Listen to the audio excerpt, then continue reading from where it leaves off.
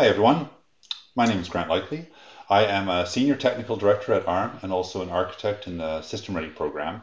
And today I want to talk about a program that I've been working on for quite a while or on standards for embedded Linux and you know, what we can do to, to make things more reliable and uh, just greater scale, be able to access more devices.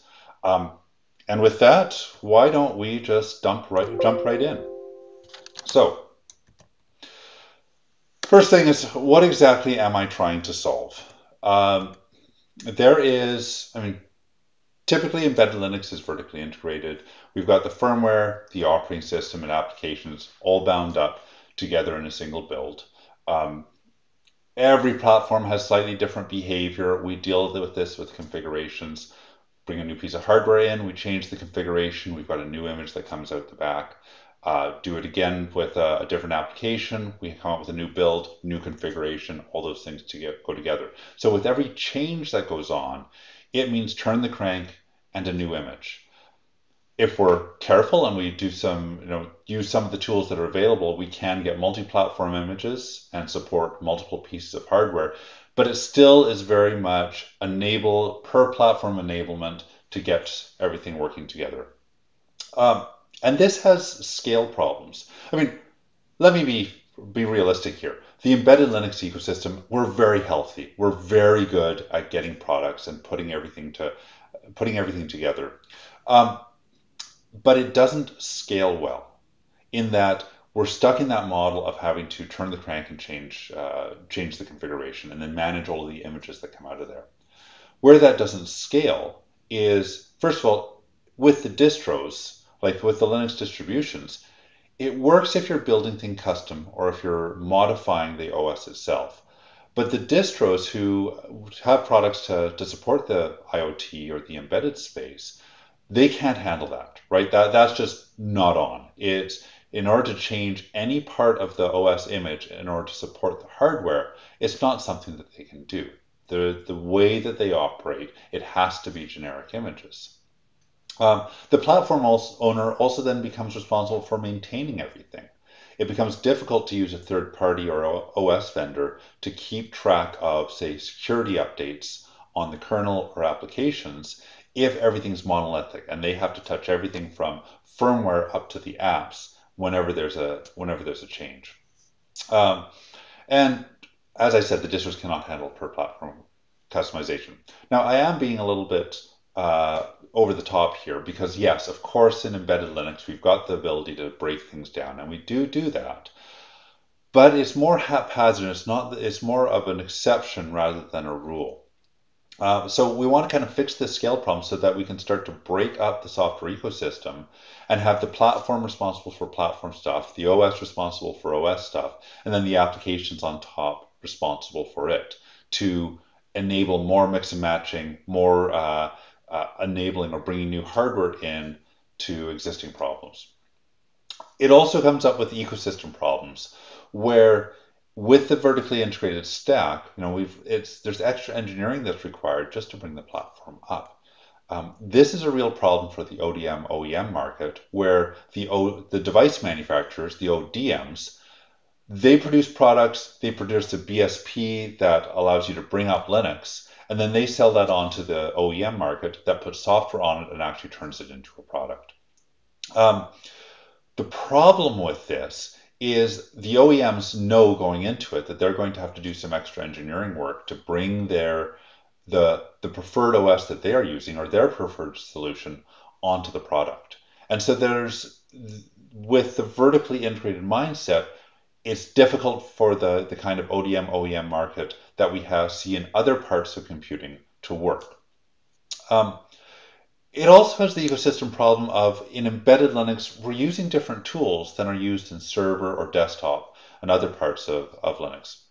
Um, and so this this just means it's to transition from one to the other uh, has costs associated with it. So the, the whole idea with standards is it's designed to reduce the engineering effort required while at the same time increasing the flexibility. With in the general purpose compute space, we see exactly that, where the platform vendor produces everything that's needed to, to be able to boot and support the OSs that then run on it, and the OSs don't need to deal with the specifics. In embedded, we do have all the flexibility of we have got uh, customizable products, but there's a lot of pieces of that that still behave can behave in a standard way. And so we're looking for ways. To, I've been looking at where are the standards that can be brought in, so that we can have less engineering effort required just to enable the enable the boards. Um, and I'm going to be talking a little bit through this talk of ARM's System Ready program. System Ready is a program that ARM uh, announced about a year ago uh, in October 2020 that was designed to bring a series of standards for different parts of the ARM ecosystem. And when we were looking at this and trying to decide what standards would actually be relevant, we realized that whether we're talking about server or edge class devices that are running a lot of that could be running many different OSs to uh, embedded edge and IoT, and then we were going to need a different set of standards. And so we created this program to have different bands. Uh, specifically, I've been looking at the IR band, which is uh, for the IoT and embedded. And when we're designing these and choosing what standards to do, we need to have a balance between having uh, lots of flexibility which, you know, if we're very custom, we can have, there's this high software maintenance cost that can be associated with that. Uh, and then the fixed, and then standardization, where by reducing the uh, flexibility, we're reducing the engineering effort.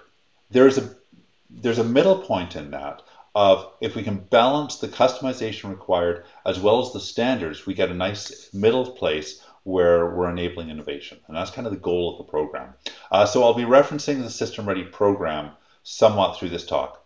Mostly this is about the technology. Um, the System Ready program is relevant though because it shows how it can actually be implemented in practice in a way that's going to be useful today with your products. So there's two parts that I want to talk about here. One side is the what's what's needed out of standardization and the distros. But before I talk about that, I need to talk about the embedded Linux ecosystem. Um, and this comes to how we choose the standards that, that we do. The first thing that is important to realize is that major changes to embedded Linux just are not realistic. If we're bringing in standards, the, the embedded Linux market is mature. We have tools, we have projects that all work very well. And to if standards mean taking those technologies and throwing them out, and then coming in with a whole new set of uh, tools. That's just not realistic. It is not realistic to throw out U-Boot and replace it with something like EDK2 uh, because that would change all of our processes. It would change the familiarity.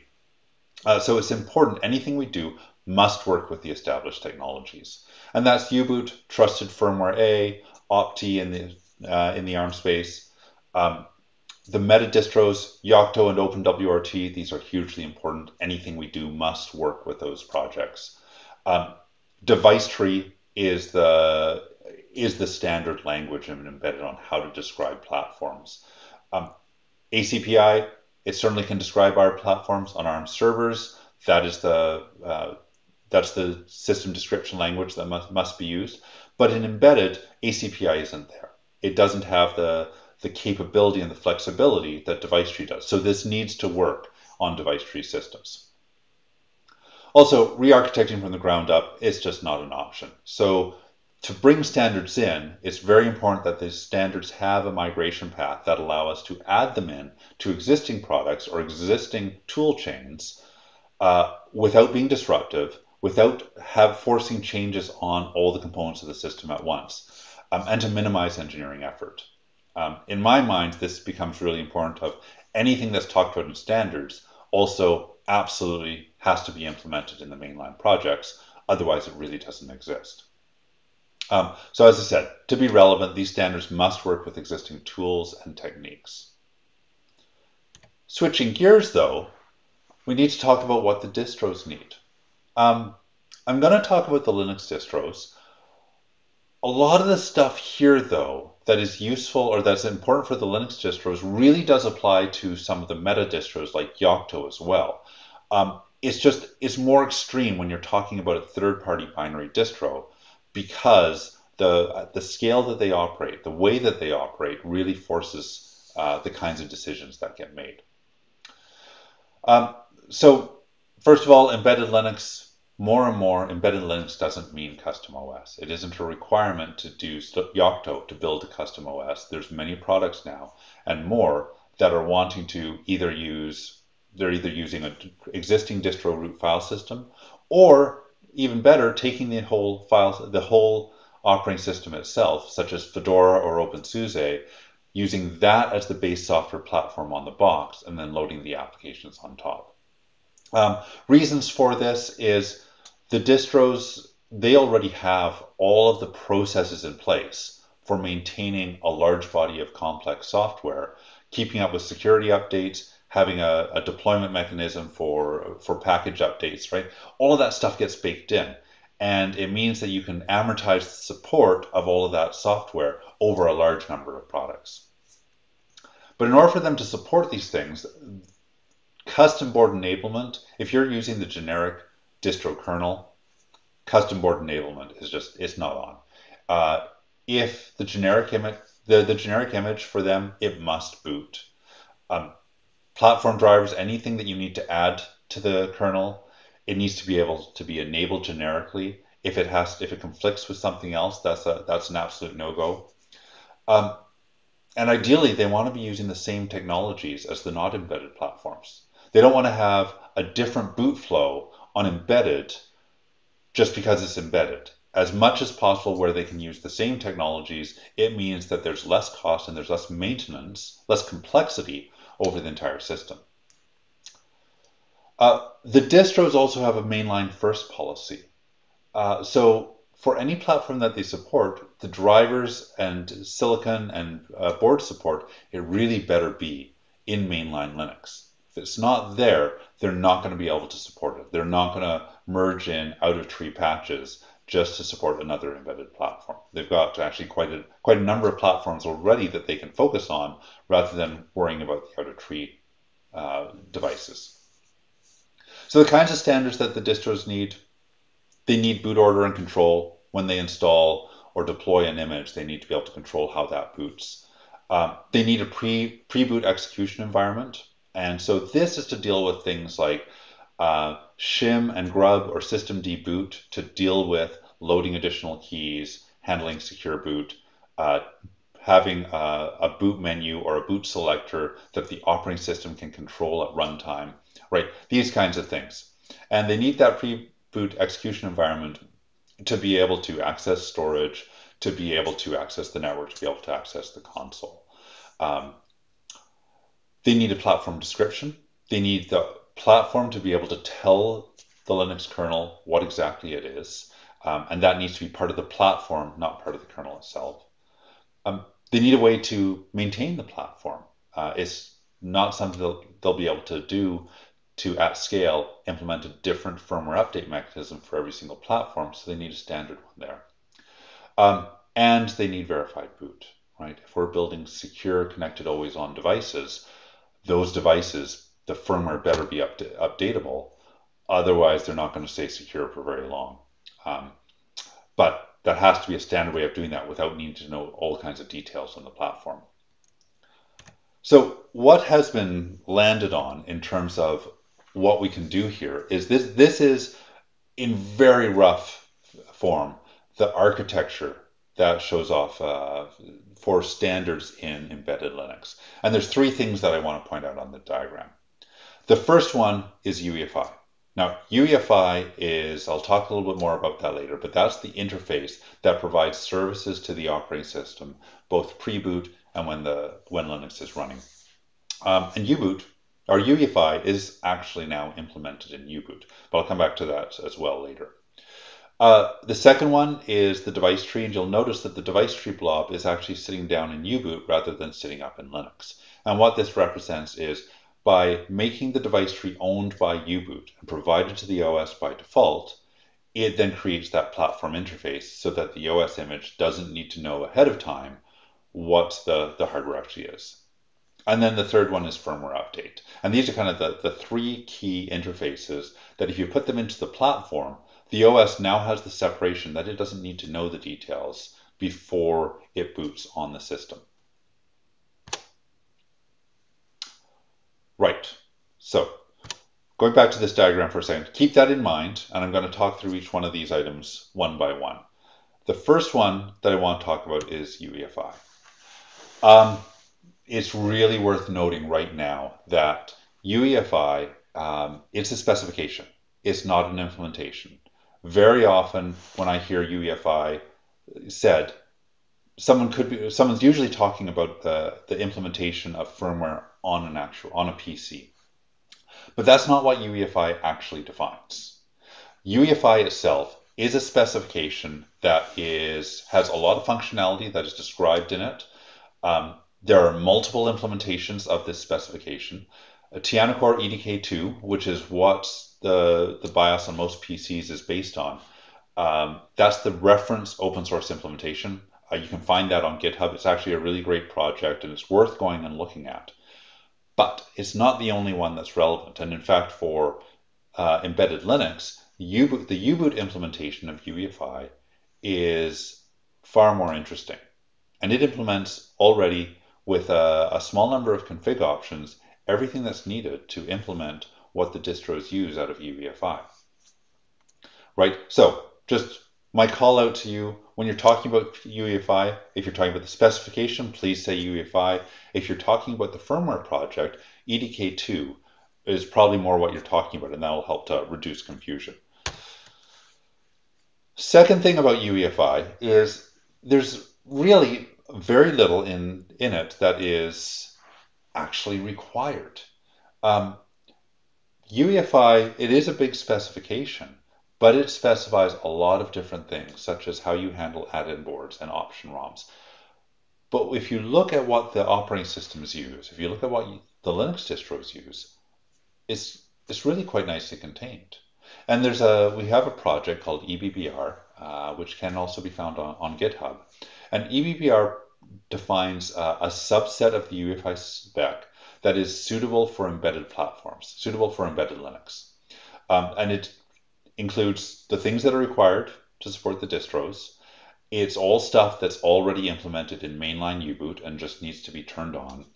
Um, it works with the characteristics of embedded hardware that's important to pay attention to. Um, and it works with device tree, right? So this is UEFI implemented by U-boot and then providing device tree as the system description.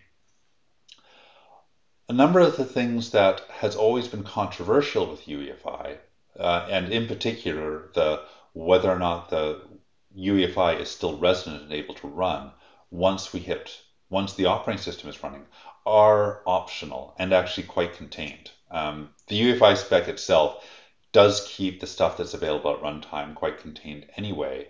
Um, and in, with embedded, the, the, the things that are difficult to implement, such as set variable, set time, and update capsule, all of those are optional. You don't have to implement them at runtime. And the reason that we don't have these implemented at runtime is in most of these platforms, there's only one flash device. And that flash device is owned by the operating system.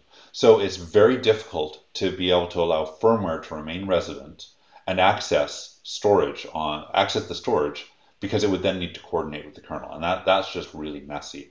So what we do instead is we make those optional. We make, if any manipulation needs to be done using those features, to do it at boot time before the OS boots.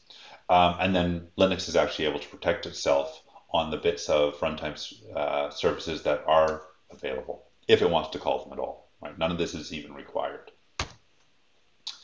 So here's what UEFI defines. It first of all it defines the ABI. Uh, if you've looked, this, if you've looked at UEFI, this will be familiar to you. Uh, but there's two execution contexts with UEFI, and that is before exit boot services and ex after exit boot services. The, the ABI that UEFI defines contains two, two tables, the boot services table and the runtime services table. And all those are, are function pointers to well-defined behavior. You can go and see this entire table in the UEFI spec. In the boot services table, we see events and notifications. We see memory management like alloc. We see image loading. We see watchdog timer. There's a few other services. And there's a function pointer to exit boot services. Uh, in the runtime services table, there are the uh, pointers to uh, the variable manipulation functions, timers, wakeups, and RTC access, system reset, and firmware update. These are just, again, these are just tables of function callback pointers. Uh, before exit boot services is called, both tables can be used. When exit boot services is called, firmware is then told to go and shut down anything that happens to have running, um, update the runtime services table if it wants to, to change the functions. And in fact, U-boot provides an entirely different table, and then pass control back over to the, to the operating system so that it can start loading its kernel, loading its device drivers. Um, and then it's able to uh, access the runtime services table if need be. Uh, before exit boot services, there's also a set of protocols, which is a way that the ABI can be extended with well-defined ABIs uh, for network, console, storage, graphics. Uh, this can be extended as need be. But this gives, before exit boot services, the ability to add in features to firmware, and then after boot services, the limited stuff, limited functions that the OS will need to use. Finally, there's also the system table. And the system table, again, is just a pointer to a set of data structures that the OS is then able to use. Um, and the kinds of things that are in the system table is there's pointers to data about the system. There's the system descriptions, such as device tree, SMBIOS, ACPI. All three of these would be passed through the system table. Um, and then details with UEFI, such as the, the ESRT, which is used in firmware update, um, and the runtime services supported table, which tells the OS in the EBBR context which runtime services are supported and which ones are not enabled on the platform. Right. So it's just a, a nice discrete place that you can pass all these information to the OS in a way that's also extensible. So we're not stuck with fixed structures. UEFI also defines the behavior. And these are things like, you know, boot device selection. How do you choose between the devices? If you don't have any defined boot devices, then it has an, uh, a scheme, scheme for how it looks on a file system to find a, um, a system partition and to find the removable boot path on that device. And if it finds it, then go and run it. Um, it defines the boot order and boot number variables, which is the boot numbers are, there's one variable for each possible boot target, and then the boot order variable just tells you which one to boot next. Um, and then it also defines the handoff to the OS. So with the behavior that UEFI defines, the platform is going to behave predictably. It means that an OS, when it's deploying to the platform, it can control what's going to be booted next without having to worry about scripts or variables other than the very well defined ones that, that UEFI uses.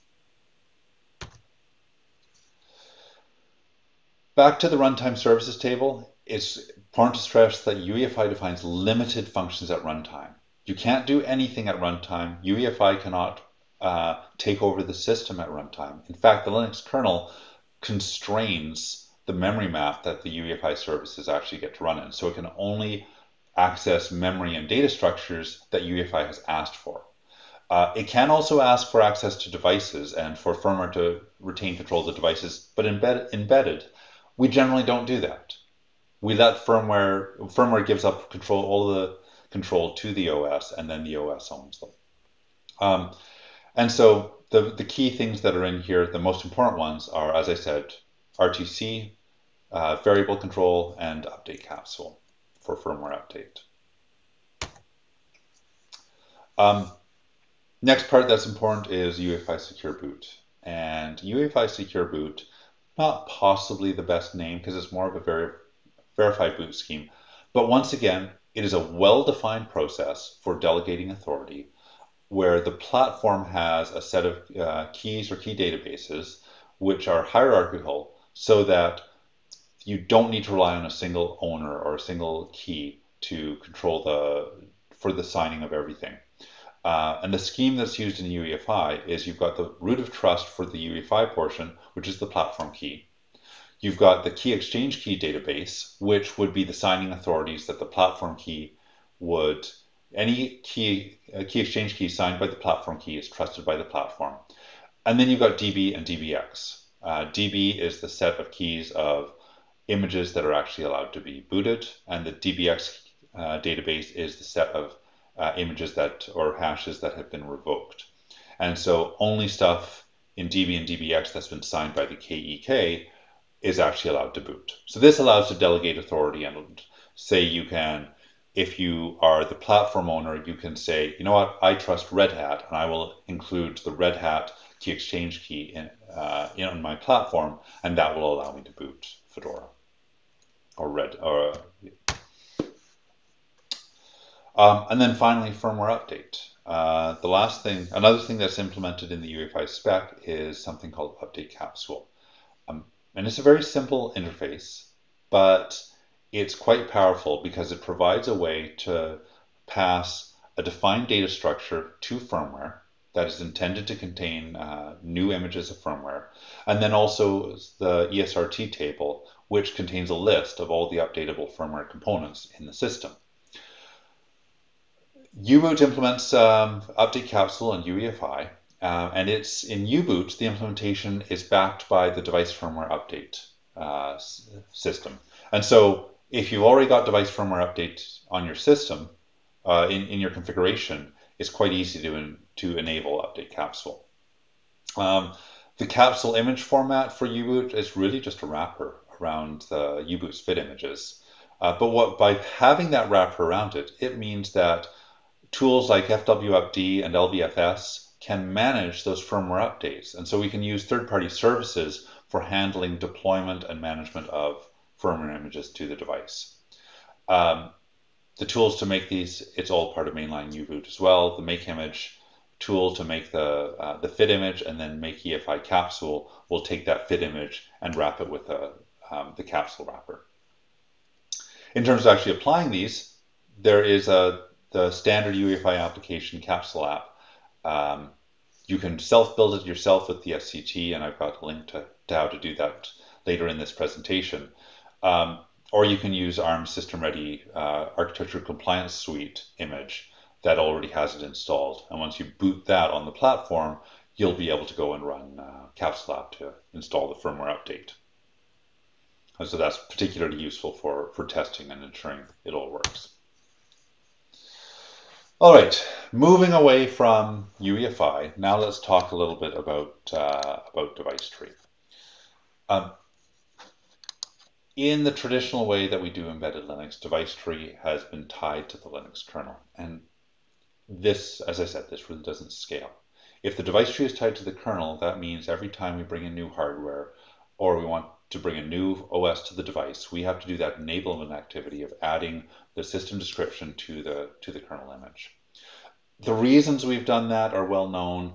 Uh, device tree has been um, the stability of it has been depending on which platform you are. There's uh, it can break for between each kernel ver version, or it's been on some platforms it's been quite stable. Um, but we need to make this start making this change, and so by default, having the firmware provide a device tree that's suitable to boot the kernel means that we enable a whole bunch more, uh, a whole bunch of different operating system images. Um, and I want to be clear that this isn't great for Yocto either. With if Yocto image has to carry around the device tree, it's in the same predicament of to bring in new hardware, you're going to need to deploy a new configuration into that Yocto image. Um, if there's a lot of hardware that you need to support, that means there's a lot of additional data files that need to be carried around with the OS image. Uh, so the idea here is if we take that device tree, we put it into firmware and we have it providing it to the OS by default, then there is, we've got that ability to boot the OSs without actually restricting how you design systems. So it enables the distro use case, it enables the just works of boot the boot into the kernel.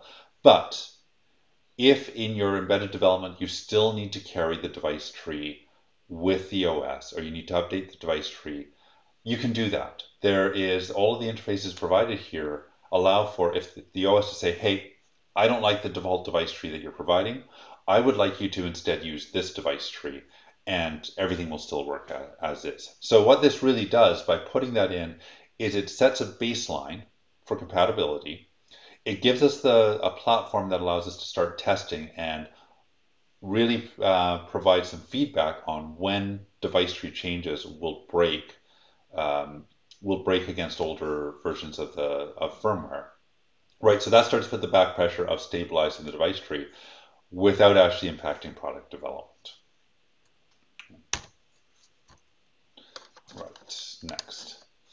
Um, finally, let's talk about mainline Linux. Um, we've got, I mean, it's in embedded Linux, it's not nearly as bad as it has been years ago. Uh, we don't have the embedded Linux problem to the way that we did, um, say, uh, 10 years ago.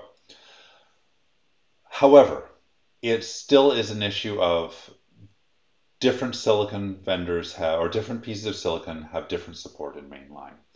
Um, the Linux distros have a very strict policy. I mean, it is mainline first. If the board doesn't support a mainline, the distros will not support it. And so I think it's time for embedded Linux that uh, we actually take this seriously of putting some putting putting some pressure on or putting some trying to make some uh, movement to getting all of the silicon into mainline. And I mean this helps with Yocto too. If we are if by default if the standards that we're that we're relying on include have support in mainline, that means there's less reliance on customer vendor trees. There's it means that uprevving the kernel or applying security patches is not so big a deal. Um, and so it just maintain uh, requires or it solves a lot of support problems. Now I'm pretty sure that all of you, most of you listening to this, are already on board with this. So I'm not saying anything new. Um, I'm just looking for ways of for when we bring in standards and we talk about standards, mainline Linux has to be one of the things that we talk about. Now, how do we actually test this? If we are using, um, right, it's one thing to talk about all of the interfaces, but unless we're able to test them, we've got no idea on how well platforms are actually implementing it. Um, and there's a number, there's quite a few options out there right now that you can go get and verify uh, to, to look into and to check how compliant or how much of this stuff I've been talking about your platform actually implements. Um, one of them is the UEFI self-certification test. And this is the tool that's been used for years by the UEFI community as part of their plugfests to verify that all the UEFI interfaces are implemented. This thing runs beautifully on U-Boot. Um, the project is open source. It's on GitHub. You can find it in the TianoCore project. Um, building it is relatively easy, but there's um, that second repo there on gitlab.arm.com, the EDK2 test manifest makes it really easy to fetch all the sources and build a zip file uh, that can be loaded onto a flash drive or loaded onto an SD card and then boot it on a U-Boot, a UEFI enabled U-Boot platform and just run those tests. U-Boot also has internal UEFI self-tests. Uh, if, you enable, if you enable the config command EFI self-test option, you'll be able to run boot EFI self-test and it will run through a, a ream of tests. Uh, firmware test suite that runs under Linux has uh, does some limited testing of the interfaces that that are exposed on an EBBR platform. Uh, firmware test suite, test suite is mostly concerned about UEF, about ACPI, but it does have it does test the UEFI interfaces and it's growing some support for device tree. Um, and then finally, just a plug for ARM System Ready program. Because all of this is important, as part of this program, we've created this uh, the System Ready Architecture Compliance Suite, uh, which is basically a pre-built disk image. You can find it on GitHub. You can you know, rebuild it yourself or just download and use the images. And this includes the SCT. It includes ARM's BSA and BBR tests and firmware test suite. So with that, you'll go through and it will run through all of the UEFI interfaces. It'll boot into Linux. It'll run the firmware test suite, and that gives you a pretty good indication on how well um, how how well the platform is, um, matches this uh, the standards that I've been talking about here today. Spending some more time on the System Ready program. Um, this is, as I said, I've been working on this for many years. Over the last year in particular, uh, ARM has been putting together a certification program that actually puts some weight behind the standards. So it's not just the standards that are out there that can point to, but we've got a, um, a branding program or a stamp program that will test platforms. If the platforms conform to the requirements, then we have a stamp that can be used by hardware vendors to say that, hey, we comply with this. You're more than likely you're going to be able to um, to run third-party distros or use mainline Yocto without any difficulty. Um, and so in this program, the things that we're looking for or testing are, first of all, we're looking for conformance with EBBR. So with that UEFI subset defined in the EBBR spec. Uh, we are looking for it, the ability to pass all of the tests in the System Ready ACS IR test suite. And you can go there. There is a, a manual on how to use that. There is also on um,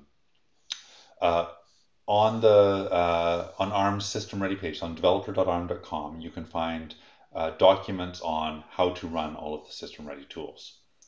Uh, you need to be able to boot at least two unmodified Linux distros. Um, the ones that we're recommending are Debian, Fedora, OpenSUSE, and Ubuntu. Um, if you're able to boot two of those without modifying the kernel config, then you know, by and large, the, the major things that you need to do for system ready compliant are already there. Um, and then finally, update capsule. And the, the reasoning on, on these is we want to make sure that we've got UEFI interfaces that are sufficient for supporting basically how all the distros boot, and that can be used by Yocto as well. Uh, we want to boot that we use two unmodified Linux distros because that gives us really good evidence that the platform has supported mainline and doesn't do anything funny that could easily get papered over. Um, and so by doing that, if we've got that evidence that all of these things are implemented, we have, you know, we've got a third party labs who will verify the testing and then ARM will look at the results, and if everything is good, we'll put a stamp on it and we'll issue a certification document. Um, or if there's still things to be worked on, we'll send it back, work with work with vendors to get the issues resolved, and then go through testing again. More information can be found on developer.arm.com at System Ready, and the contact email address is systemready at arm.com. Uh, as I say that, I think that URL is wrong, so I will uh, either modify this video or put something over top to replace that, uh, that link. Right, so that deals with uh, kind of the big things of the standards that, that we're looking at, or that I've been looking at and that the program's looking at. Um, I really have to take a moment of just a huge shout out to um, the developers at Linaro, the U-Boot project, Socionext, NXP, um, who have done an awful lot of work to, to, to really enable this and get this working. We have uh, two certified platforms right now. There are many more that are coming up. Uh, in fact, by the time you see this video, there's probably going to be more on the System Ready website. Um, but there's there's actually been uh, a huge amount of interest in this program. It's a great foundation as well. It can be used right now, and I recommend going and looking at it. Uh, but it's it's just a start because there's still more things that as we get this baseline of functionality, there are things that can be improved. And here's some of the things that are being looked at. Um, one is boot device selection improvements. Right now, the way U-Boot chooses which UEFI target to boot is mostly based on hush scripts. And there's no way to get a boot list or boot menu um, or choose between those. So we want improvements there would be really valuable. Um, console device selection has some problems. Most of the time with what's provided now, the kernel will kernel messages will come out no problem, but getting the console argument for uh, for the Getty still needs some work. Um, and sometimes enabling the frame buffer ends up breaking the console. So there's and that's kind of that's more systemic problems of the architecture of how console is provided from U-boot through the boot and through into user space uh, needs to be refined. I uh, want to bring in measure boot. Um, device tree validation, I talked about device tree stability. Uh, there are tools for validating device tree schema. Want to start making use of those and to really make this program more robust. And so this is all going to grow. If you're interested in this, please come join us at the EBBR project. Uh, there's biweekly meetings and so through technical input, what you would like to see in the standards would be really, really valuable. And, um, right, so some highlights here. The certification program is running right now. Uh, you can go to um, arm.com system ready certification program for a list of all the certified platforms. That's the correct URL that I was talking about earlier. Um, so, and you can expect more announcements before the end of the year. Join us at the EBBR project, and you can contact us uh, to ask about certification. And with that, I am done. So, um, I think there's questions now. I mean, I'm recording this a few weeks ahead of time, uh, so I will be online to answer questions. But thank you very much for listening, and I hope you enjoy the rest of the conference. Bye.